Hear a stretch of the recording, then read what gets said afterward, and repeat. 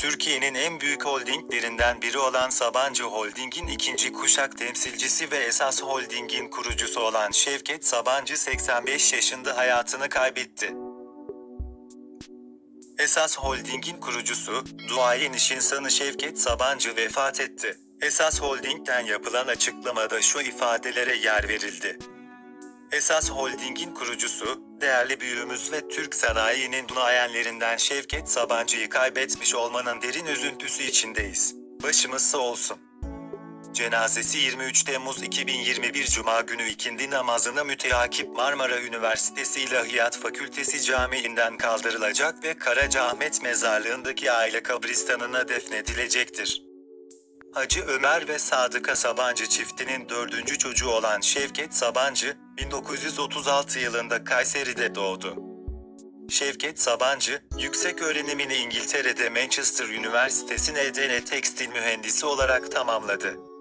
Tekstil şirketlerinde çeşitli üst düzey görevler aldıktan sonra 1980 yılından itibaren Sabancı topluluğunu yurt dışında temsil eden Şevket Sabancı, 2004 yılına kadar Sabancı Holding Yönetim Kurulu Başkan Vekilliği görevini de yürüttü.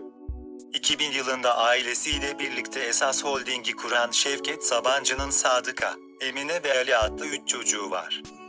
Şevket Sabancı, Esas Holding Yönetim Kurulu Başkanlığı görevini 1 Ocak 2020 tarihinde oğlu Ali Sabancı'ya devretmişti. Her işin temeli güven.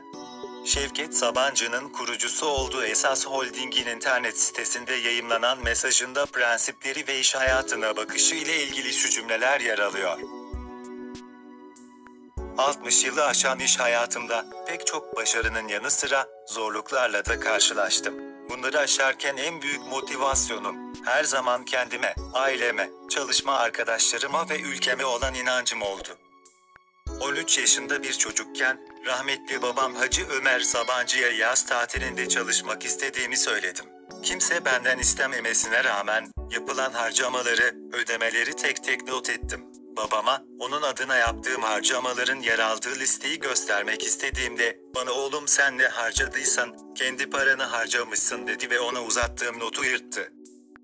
Babamın bana olan koşulsuz güveni, benim de yaptığım her işin temeline güveni yerleştirmemi sağladı. Ben de birlikte çalıştığım iş arkadaşlarıma güvendim ve onların sayesinde Esas Holding bugünlerine geldi. Biz bir aileyiz, aynı hedef için birlikte yürüyor. Kazandığımızı paylaşıyor. Birlikte gelişiyoruz. İşimizi yaparken esasın ana değerlerine bağlı kalıyoruz. Her durumda doğruyu savunuyor. Etik prensiplerimize uygun davranıyor. Sözlerimizi tutuyoruz. Toplum için sorumluluk üstleniyor. Çevreye ve geleceğe sahip çıkıyoruz. Bunu yaparken rahmetli babamın bu topraklardan aldığımızı bu toprağa vermek ilkesi bize her zaman rehberlik ediyor. Yolumuzu aydınlatıyor.